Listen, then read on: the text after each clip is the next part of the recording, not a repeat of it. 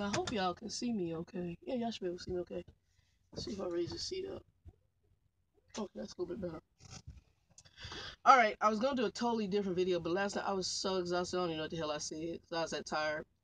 Um, at the Petro here in Ontario, give y'all an update on what has transpired and what my moves are gonna be. So,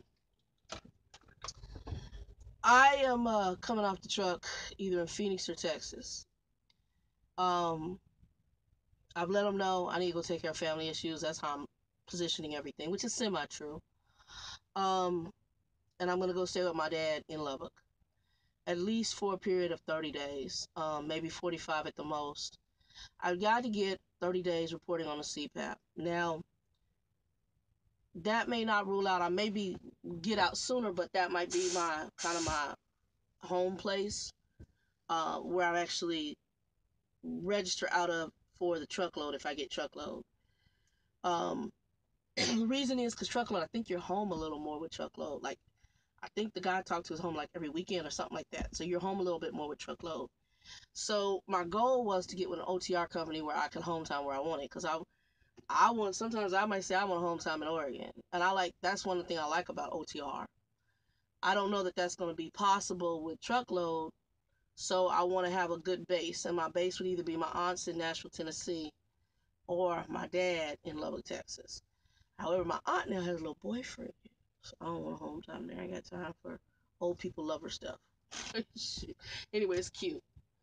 Um, but let me kind of back up and tell you guys what happened after the whole incident with the T call. So I T called the load in in in uh, Jurupa, like I told you. They were supposed to get me an empty trailer to go get the next load, which would have put me in Casa Grande with a Walmart delivery of frozen stuff from a logistic or uh, from a cold storage place here in Cali. So my company, as of three, maybe four months ago, they put a notice out that the yard that I belong to, and I don't know if I ever did a video on this, they're having issues with reefers, so empty reefers. So what they told us was that if you ever go to the yard with empty reefer, it'll be immediately removed from you if your load is not going to pick up immediately. Like if it's not gonna pick up within an hour or two, then you your reefer gets put into a empty reefer pool, and the reefers are supposed to be parked in a, in a lot where we park all the empty trailers. People aren't doing that. I can tell you that because of my experience yesterday. So when a T called the load in Jurupa, they sent me what they call a trailer solution, meaning we don't have no reefers available for you, or here's where you go get an empty reefer, okay? Because I had to give up that T, T call that load.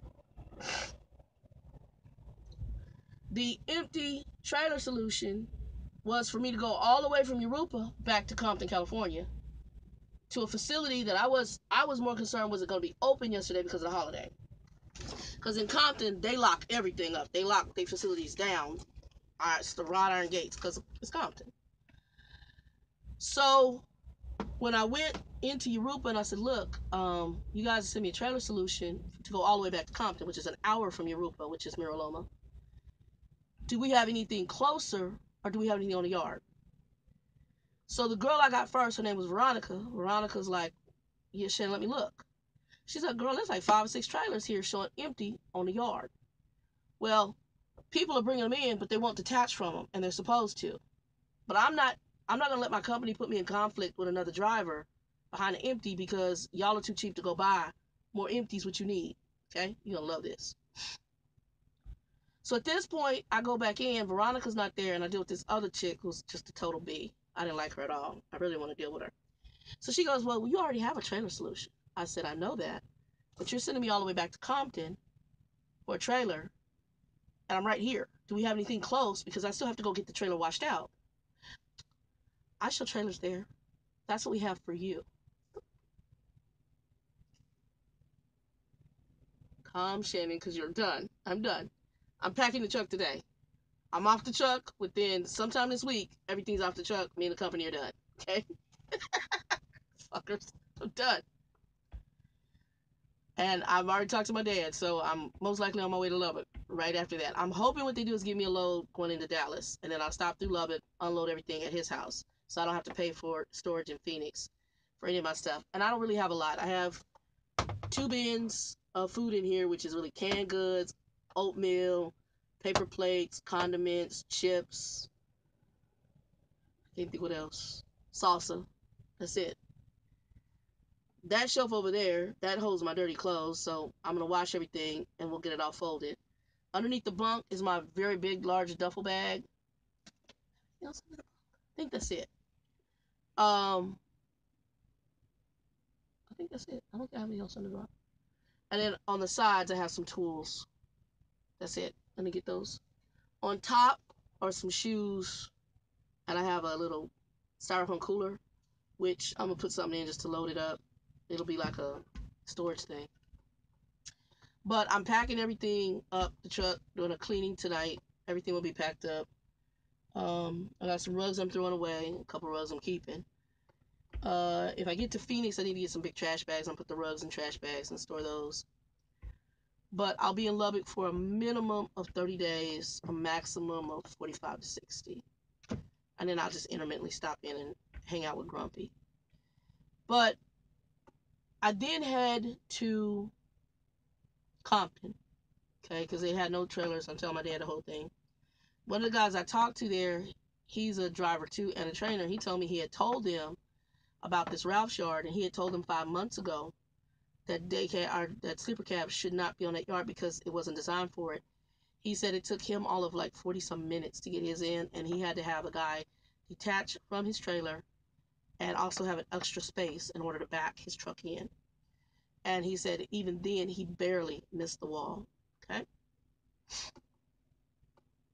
He made the suggestion hey Shannon, call the customer and see whether the customer has anything. The customer had no empty, so I talked to our customer. Her name was Alma, and Alma said, "Baby, I don't have any any empties to load for you, but if I get one, we'll get you preloaded, and if you're if not, we'll live load you when you get here." I said, "Well, Alma, I'm looking for a trailer right now. I don't know how this is going to work out." So at this point, I leave the yard because there's nothing on the yard, and I head to Compton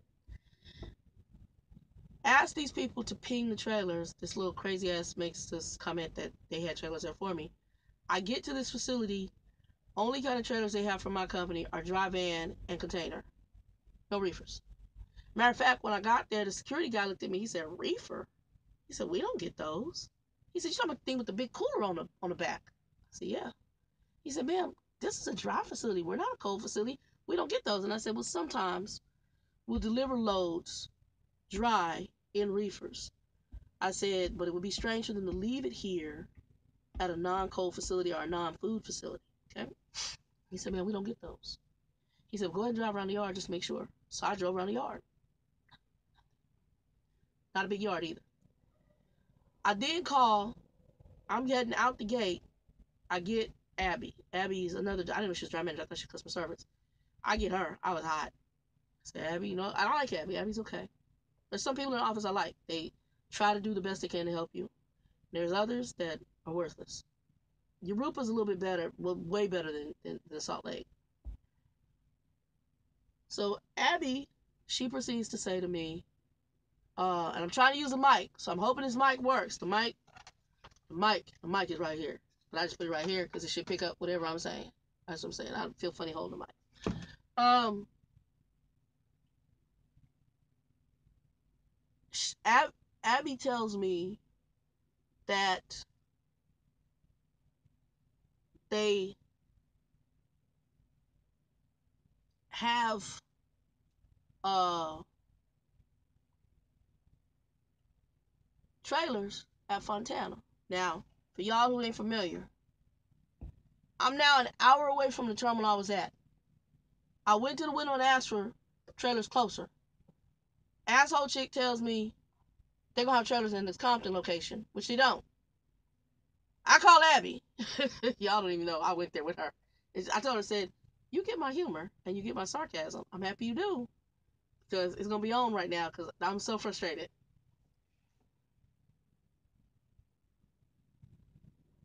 I go.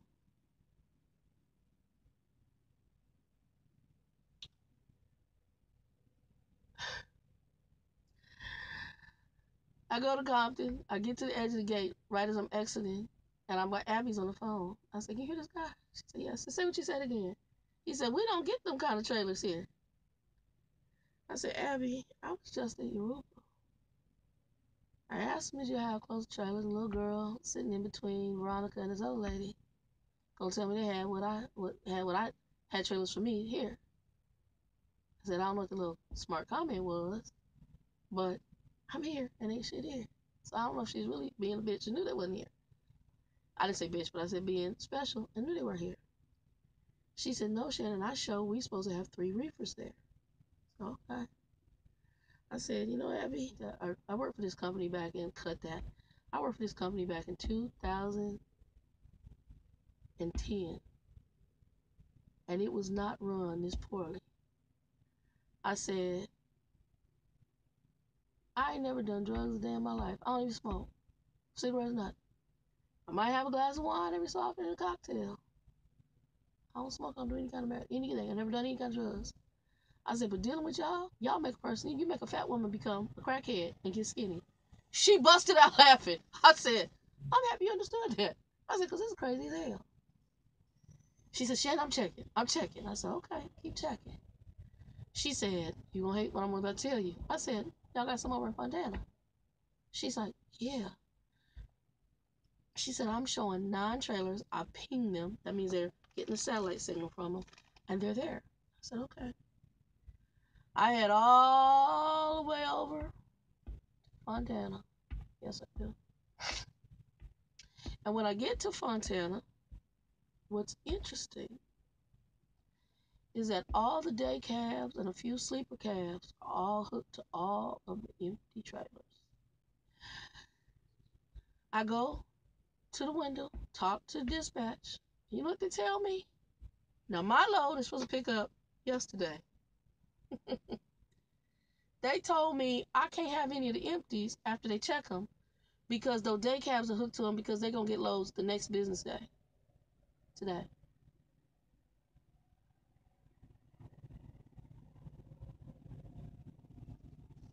That's crazy as hell. So basically, I'm, he's getting ready to get better. We got nine trailers and none of which I could get to. So then they send me over to Walmart and Target DC, of which I'm told by them, we don't give you back your own damn empty. Baby, we don't give you back your own damn empty. Crazy as hell. So I U-turn in that yard and I call a customer because I called a customer earlier, and I talked to that Alma lady. And I this time I'm late because I told I told I told Abby I said Abby I'm gonna be late for this load because I don't have a trailer.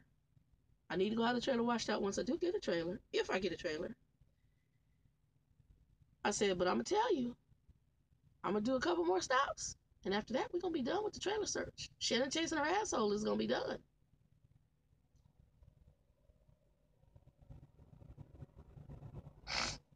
I got to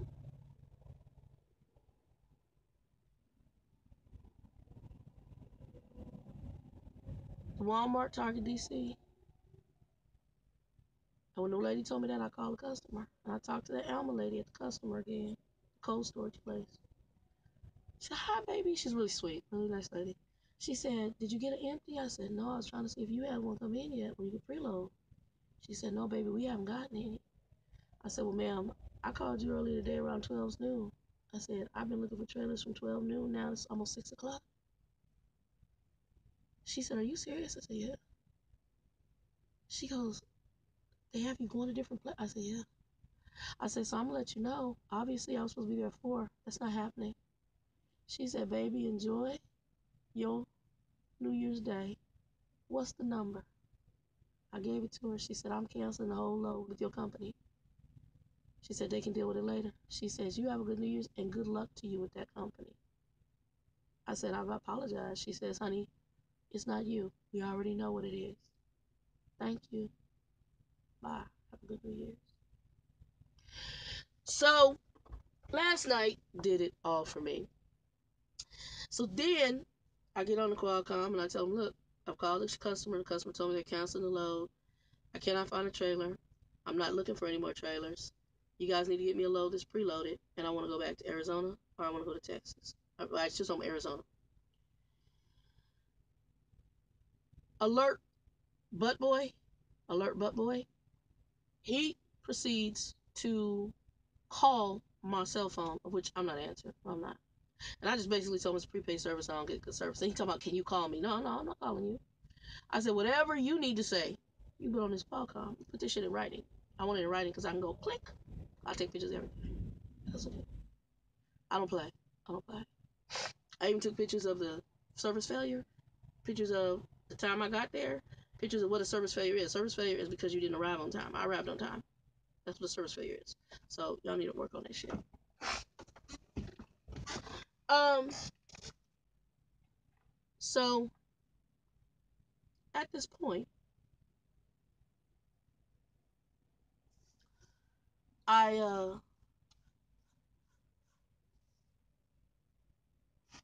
I go ahead and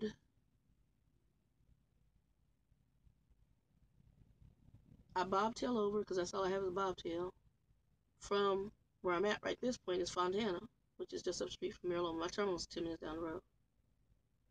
I park in front of Petro, and what I'm doing right now is waiting because some executive decisions is going to be made between now and Wednesday.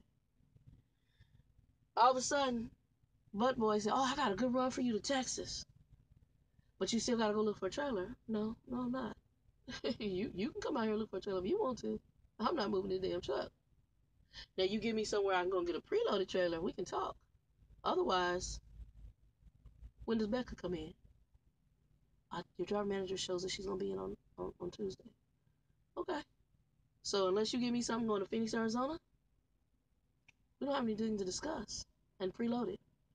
I won't be looking for any more trailers. By hook or by crook, I'm gonna end up in Phoenix sometime this week. As will your truck. you fucking with the right one. You jacking with the right one. Okay? I'm trying to work with y'all ass, but you you have no idea what I will do to get on right now. And this will be on the yard. I'm not gonna do anything rash, but it will be at the Phoenix yard. Yes, it will. I'm trying to work through because what I'm hoping they do, honestly, I'm hoping that what they actually do is give me a load to Texas. That will be the ideal load. And I will then take the truck to their Lancaster yard and it'll already be cleaned out because I'll go through Lubbock, deliver everything to my dad. All I need on here is a bag, and then I'll take a bus ride on back to Texas, to to Lubbock.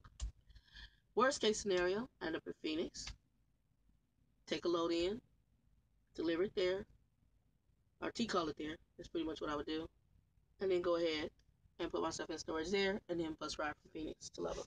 I hate flying. I could call a friend of mine who's a flight attendant, and I could probably have a flight out of here.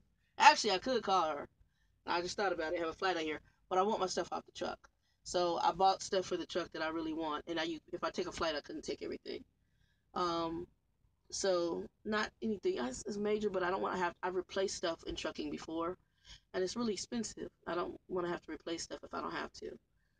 So at this point, I'm calling the truckload company tomorrow. I was going to call him today, but then my friend reminded me, she said, it's a holiday. That man's not going to be there. So I'm going to call him tomorrow. Jose, thank you for that information. I'm going to call him tomorrow and first thing and see. Uh, and I don't know if they have anything out of Lubbock or out of Phoenix. If I get Phoenix, then I could just really just hopefully I don't know how how quickly their uh, call it their orientations are. But if I can get Phoenix and get approved, then I'll go through the truckload company there. If not, it takes longer, then I would have to do it out of Texas because I'll be with my dad. Because I will be in Lubbock within a week. I'll be in Lubbock no later, probably than the end of this week coming up, early next week. End of this week, most likely. I'm done. So, yeah, my time with this company has come to an end. Um, and I'm trying to do things as properly as possible. Like I said, I sent her a very nice email. I didn't tell her I'm ending it, but I just told her I need to get home and I need to go deal. I need to deal with some stuff with my dad anyway because I already had to talks with his doctor. So part of what I'm telling her is true. I was just really stretching my time a little bit longer with these fools. Um, but my days were done. this this right here it did it for me. It did it for me when another driver told me he five months ago he told you take cab to this location. It did it for me when I've just gone on a hunt for trailers. It's it's it, it's just and, and when I talk to your customers and your customers are disappointed.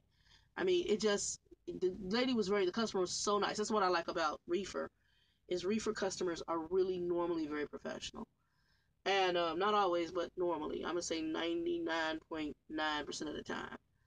Um, and, but for her to even the comments, and I'm not really going into detail on my discussion with that lady, but she was very very sweet, very very nice, and when she said, and I didn't really, I just told her because she could tell by what I was saying you know, I don't I don't ever down them, but I just said, ma'am, my company had me do this.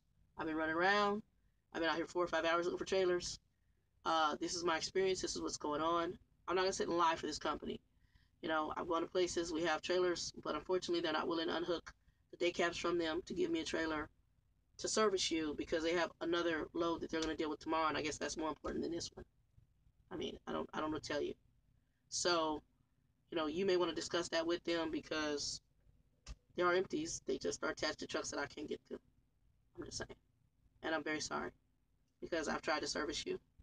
And then there's empties at some of our other customers who, how you can have the nerve to keep another company's equipment and basically say you can't pick up your own shit.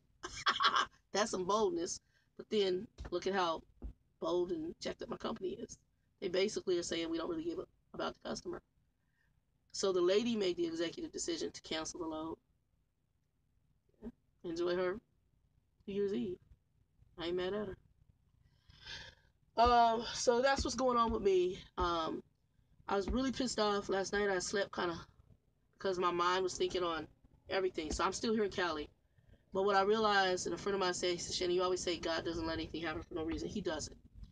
And so what today has done is I'll be working on packing up everything on the truck. Truck will be fully packed up.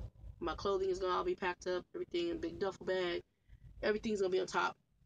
Only thing that'll be in in a closet is what's in this bin, and then the the clothing bin is gonna be here, but it'll be emptied. So um, because that way I can just lift it out. Um, worst case scenario, if I decide to just leave the truck here in Rupa, which isn't the goal. The goal is to go ahead and get to Phoenix. It's easier to unload it there. But if I do, they can have that bin. It's like a little three three bin, and I'll just be able to carry most of my stuff off of here, with a few exceptions. Anywho. Oh yeah, so I'll tell you about these loads. So they then send me loads to oh he offers a load to Texas, but I had to go find a trailer. Then they finally, because I talked to this one dude who's the one who didn't answer the phone properly, I sent him a message, and he then um comes back with, "You just came off home time." I said, "I got family issues." I asked you no shit about what I just did.